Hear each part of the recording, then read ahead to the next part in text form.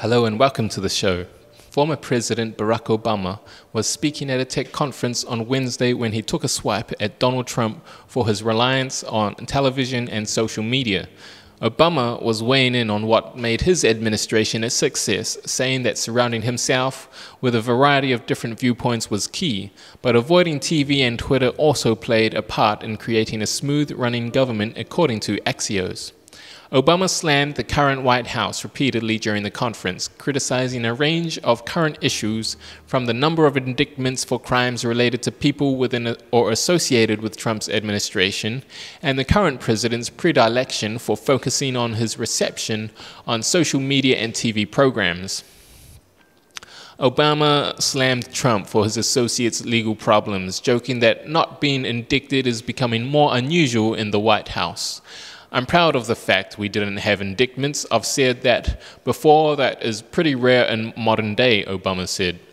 He also explained that while he faced several challenging decisions, like whether or not to go after Osama bin Laden or whether he should bail out Chrysler during the recession, he was supported by people who would tell him directly what they thought and who didn't always share his opinion.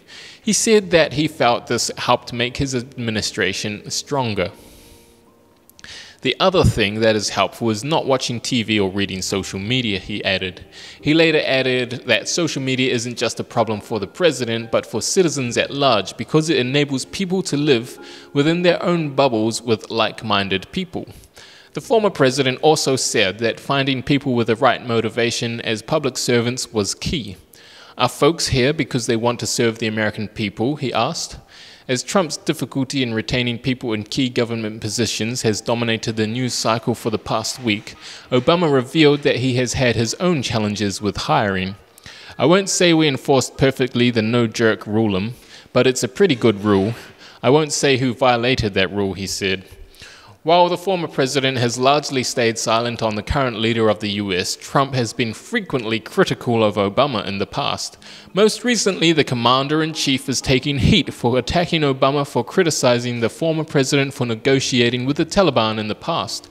Trump famously planned to meet with leaders from the Taliban at Camp David before canceling the meeting at the last minute, as the Inquisitr reported. Thank you.